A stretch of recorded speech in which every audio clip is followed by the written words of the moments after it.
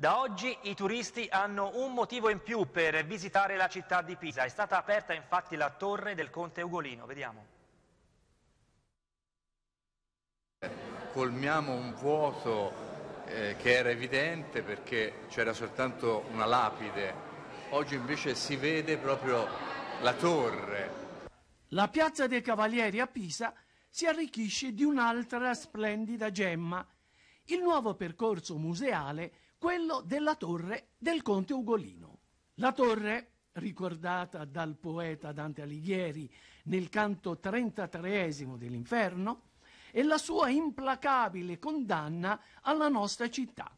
Lo spazio museale Torre del Conte Ugolino introduce il visitatore attraverso un percorso storico, letterario e artistico alla visita dei resti della celebre Torre della Fame, per la prima volta aperti al pubblico. Non è la prima volta che succede a Pisa che abbiamo delle cose belle e non sono accessibili. Bene, questa, eh, questa lo è diventata e speriamo che la cittadinanza e i nostri ospiti sappiano fruirla.